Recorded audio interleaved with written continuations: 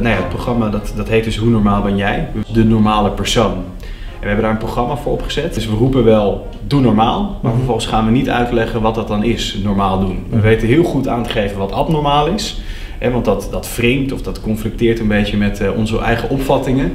Alleen we gaan vervolgens niet invullen wat dan het normale gedrag is. De normale variant is van dat, eh, dat abnormale gedrag. Dus hoe normaal ben jij? We willen erachter komen binnen vier thema's. eh, werk, zingeving, seks en relaties en beschaving. Dat we allemaal vinden dat we normaal moeten doen, maar dat we niet zo goed weten wat dat dan precies is, normaal. Eh, bestaat een normale mens wel bijvoorbeeld? Of, eh, en, en zo ja, wat doet hij dan? Eh, we hebben een panel en daar zit Carolien Borgers, die zit daarin, in, radiomaker en cabaretier is zij.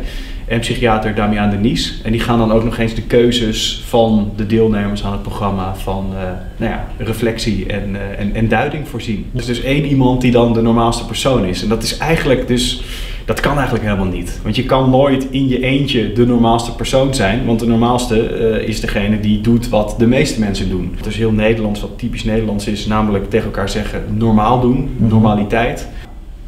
Mm, Ja, ik, ik weet niet of er een, een eenduidig antwoord op is te geven. Ik denk niet dat ik heel normaal ben. Eh, er is ook voldoende afwijkends aan mij. Maar goed, ik heb wel eh, één keer het programma gewonnen. Ja.